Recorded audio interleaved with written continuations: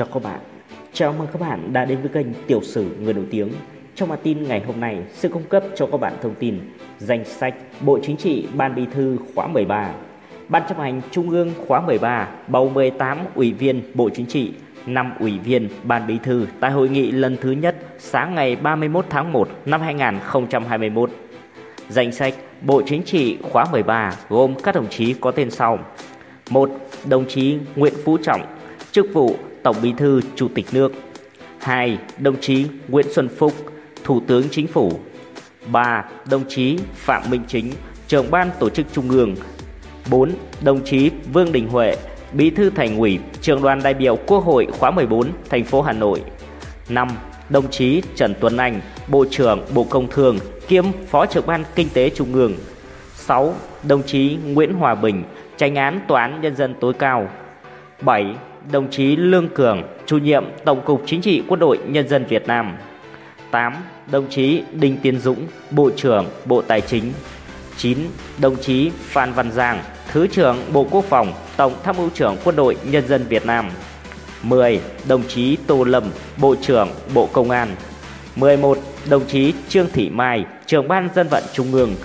12. Đồng chí Trần Thanh Mẫn, Chủ tịch Ủy ban Trung ương Mặt trận Tổ quốc Việt Nam. 13. Đồng chí Phạm Bình Minh, Phó Thủ tướng Chính phủ, Bộ trưởng Bộ Ngoại giao. 14. Đồng chí Nguyễn Văn Nền, Bí thư Thành ủy Thành phố Hồ Chí Minh. 15.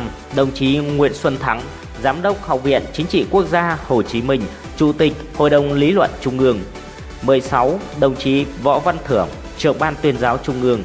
17. Đồng chí Phan Đình Trạc, trưởng ban nội chính Trung ương. 18. Đồng chí Trần Cẩm Tú, chủ nhiệm Ủy ban Kiểm tra Trung ương.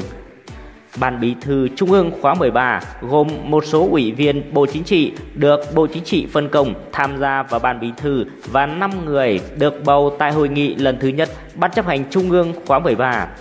1. Đồng chí Đỗ Văn Chiến, chủ nhiệm Ủy ban dân tộc. 2. Đồng chí Bùi Thị Minh Hoài, Phó chủ nhiệm thường trực Ủy ban Kiểm tra Trung ương. 3. Đồng chí Lê Minh Hưng, Tránh Văn phòng Trung ương Đảng. 4. Đồng chí Lê Minh Khái, Tổng thanh tra Chính phủ.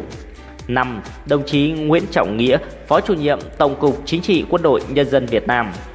Ủy ban Kiểm tra Trung ương khóa 13 gồm 19 đồng chí. Đồng chí Trần Cầm Tú tiếp tục được bầu làm chủ nhiệm Ủy ban Kiểm tra Trung ương khóa 13.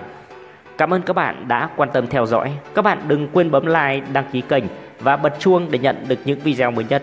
Xin chào và hẹn gặp lại các bạn ở những video tiếp theo.